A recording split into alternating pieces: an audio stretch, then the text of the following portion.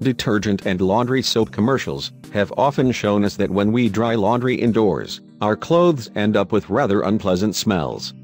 But, did you know that there's an even more important reason you should never dry your clothes indoors? According to some studies, the moisture evaporating from wet laundry can cause respiratory illnesses. In medical exams conducted on a citizen from Bolton, Greater Manchester, England, moisture can turn into molds, which can harm the body when inhaled. Craig Mather, 43, used to dry his clothes inside his house until he got a lung infection.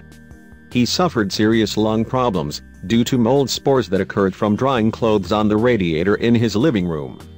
I started to recover only when I was diagnosed with chronic pulmonary aspergillosis and was prescribed the specific drugs to combat fungal infections, he said.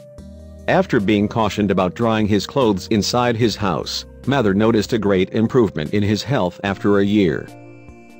Mather's case is only one of many respiratory diseases that have been attributed to the practice of drying clothes indoors.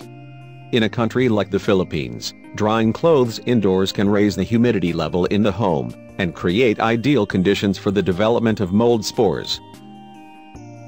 According to the U.S. Center for Disease Control and Prevention, mold growth is encouraged by warm and humid conditions.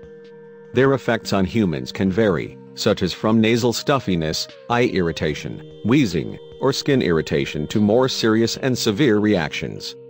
Severe reactions may include fever and shortness of breath. Some people with chronic lung illnesses, such as obstructive lung disease, may develop mold infections in their lungs. One bunch of washed laundry contains almost 2 liters of water that is released into the room.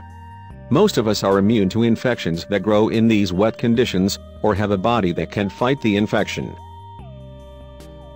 However, patients with asthma may experience problems with coughing and breathing difficulties, and in people with weakened immune systems, such as cancer patients treated with chemotherapy, and patients with AIDS and autoimmune diseases, fungi can cause pulmonary aspergillosis.